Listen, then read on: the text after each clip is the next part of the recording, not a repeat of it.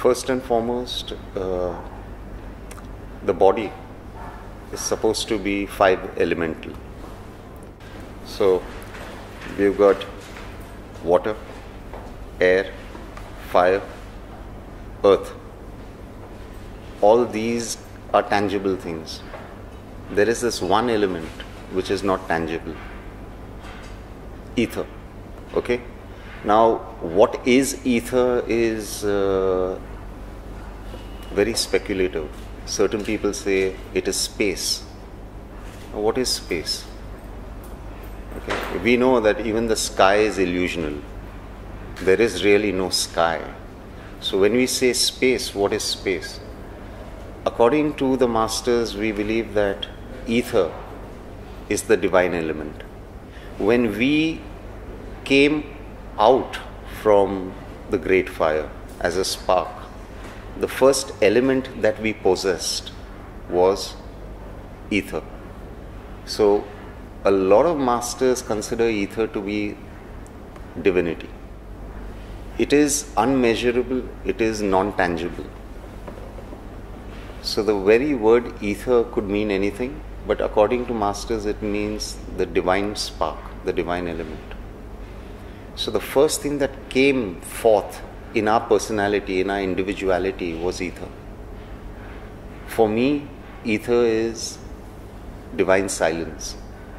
Everything comes forth from divine silence. Okay? When we talk about karma,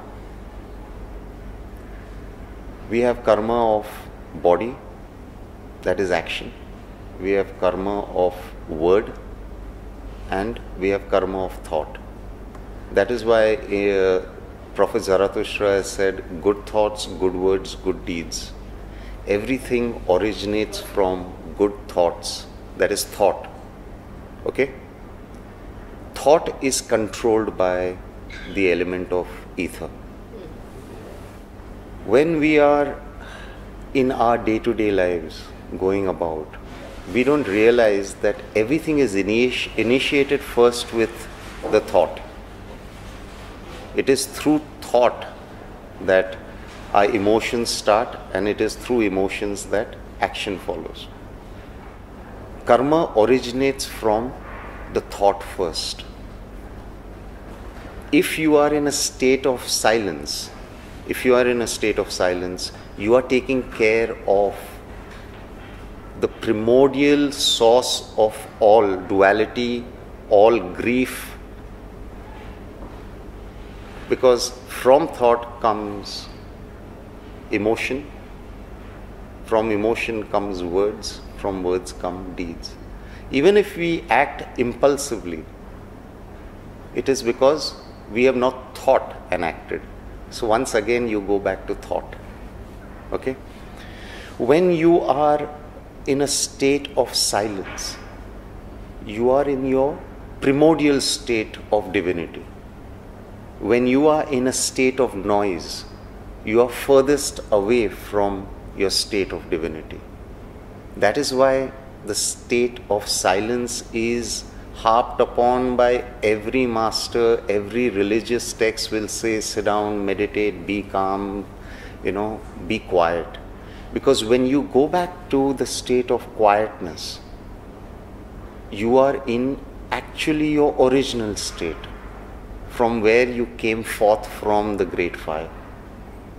When they talk about silence, what is the meaning of silence? It does not mean do not communicate, do not talk. Silence means basically come from a state of centeredness. It does not mean no thought, it means calm thought it does not mean that you know what you do not talk it means you are in control of what you are talking if the state of silence is in disharmony your all the other four elements within you will be in disharmony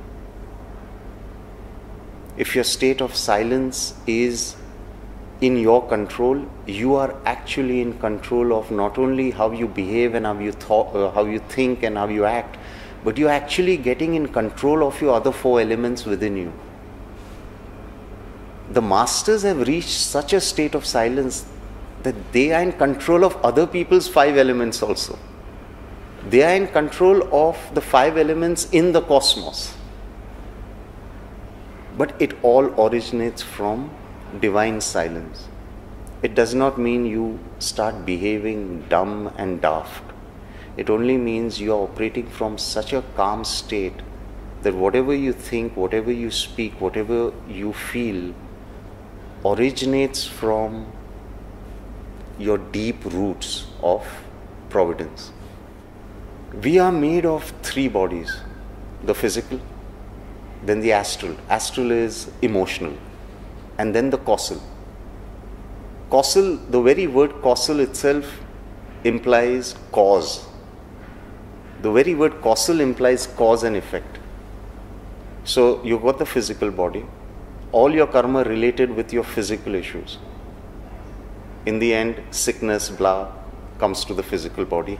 All your karma related with your emotional issues are in the astral body, and all your karma related with your thought is contained in the causal body. But as everything starts from thought, the causal body contains all the karmas of all the lifetimes within it. When you start going into the state of silence, you start healing that causal body because you've gone beyond cause and effect, you've gone to the genesis of your creation, which is divine silence. When you start living in that divine silence, you start healing the causal body. When the causal body starts getting healed, slowly the astral body starts getting healed and then the physical body. That is why sufis would if you were to go to a dargah they would you know clean you up with a peacock feather because they could see what is contained in your causal body and they are cleansing your causal body.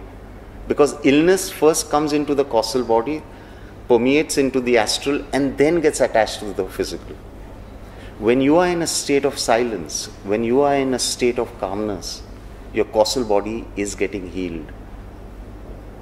You can even cleanse your karma via meditation. Mahavatar Babaji's Kriya Yoga basically is based on that. That why go through lifetimes of karma when you can sit down, meditate, breathe, and cleanse your karma sitting down quietly? Why? Because you are taking divine silence and then doing all your cleansing. So you don't have to go through the cleansing of karma physically, emotionally. You can do it via silence. That is why silence is so important. It is like you being in a jungle and night sets in. There are animals who are going to come for the midnight snack. What do you do? You quietly find a place and sit down but what most of us will do is we'll remove our torches and start flashing around.